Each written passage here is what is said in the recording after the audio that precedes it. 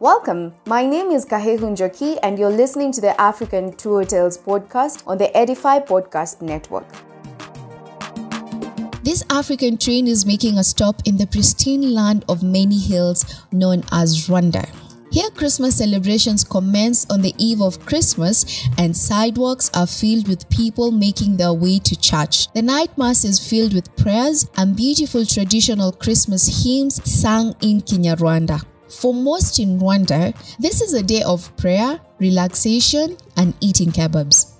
Grilled beef or goat, fried potatoes, and rice will be the centerpiece for most meals, and for most families, it is the one time of the year where meat is part of their meal. But it is not Christmas in Rwanda without isombe. This is a meal consisting of mashed cassava leaves and green bananas cooked in tomato sauce. While for the upper class who have been exposed to a life out of Rwanda, they will probably exchange gifts and decorate their homes with Christmas trees.